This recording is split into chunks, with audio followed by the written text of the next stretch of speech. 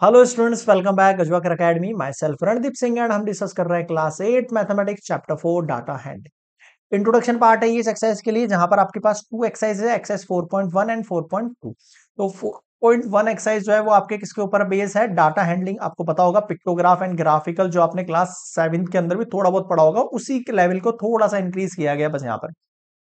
यहाँ हम डिस्कस करने वाले हैं इंट्रो पार्ट ऑफ़ एक्सरसाइज 4.1 में जो भी मेथड्स यूज़ होने वाले सबको एक बार हमें नज़र डाल लेंगे, उसके बाद सीधे एग्जांपल से स्टार्ट करेंगे।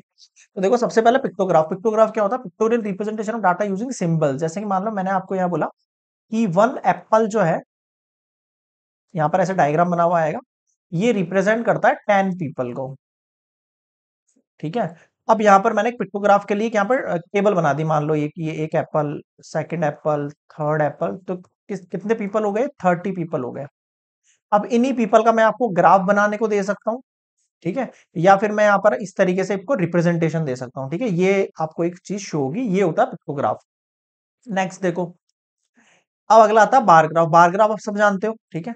जैसे कि यहाँ पर ईयर लिखे हुए हैं कि 2001 2002 2003 2004 मेनली जो ग्राफ है ना आपके पास, वो तो लास्ट चैप्टर है चैप्टर नंबर 14 या 13 उसमें आएगा। यहाँ पर केवल हल्के फुल्का डाटा हैंडलिंग दे रखा है। यहाँ पे क्या दे रखे हैं? कि भाई 2001 के अंदर जो मान लो कि जो बर्थ पीपल्स हैं बर्थ जो चाइल्ड है, उनकी जो पॉपुलेशन है वो इतनी थी। इतनी थी इतनी थी, किसी में इतनी थी तो मतलब इस तरीके से रिप्रेजेंटेशन होगा बार ग्राफ के अंदर, ठीक है? ये हम डिस्कस कर लेंगे, आगे क्वेश्चन भी केवल मैं आपको एक आइडिया दे रहा हूँ रफली अगला है double bar graph double bar graph में क्या होता है? डबल डबल ठीक है? यहाँ पर कुछ और रिप्रेजेंटेशन होगा, इससे किसी और चीज़ को रिप्रेजेंटेशन होगा, फिर रिप्रेजेंटेशन फिर रिप्रेजेंटेशन फिर रिप्रेजेंटेशन फिर रिप्रेजेंटेशन लाइक दैट सेम ही है बार ग्राफ और डबल बार ग्राफ सबसे इंपॉर्टेंट सर्कल ग्राफ और पाई चार्ट सबसे ज़्यादा यूज़ होता है, यहाँ पर सबसे ज़्यादा क्वेश्चन इसी से पुट होता है. ये पाई चार्ट हो गया. एक पाई चार्ट टोटल कितना होता है? 360 डिग्री होता है. इसके अंदर ग्राउंड में ये आपको पता होना चाहिए. जैसे मान लो मैंने बोल दिया कि हम कितने घंटे पढ़ते हैं तो यहाँ पर रवि जो पढ़ रहा है, वो वन आवर पढ़ रहा है. सुरेश जो है वो मान लो थ्री आर पढ़ रहा है, ये इतने आर पढ़ रहा है, ये इतने आर पढ़ रहा है, इससे रिप्रेजेंटेशन हो गया।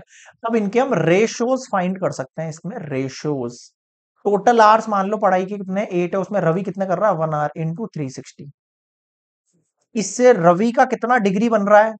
वो फाइंड आउट निकल जाएगा। ये आपसे पूछेगा क्वेश्चन के अंदर, अभी क्वेश्चन पढ़ेंगे तब तो आपको आइडिया लगेगा, ठीक है? ये आपके पास क्या है? सर्कल ग्राफ ये पाई चार्ट जो है, इसको मिला के फोर टाइप से आपके सामने यहाँ पे क्वेश्चन पुटअप होंगे। फोर पॉइंट वन एक्सरसाइज बहुत ही इजी क्वेश्चन है और बहुत ज़्यादा मतलब ten to twelve question exercise में बहुत सिंपल ठीक है? नेक्स्ट देखते हैं एग्ज़ाम्पल नंबर वन के साथ।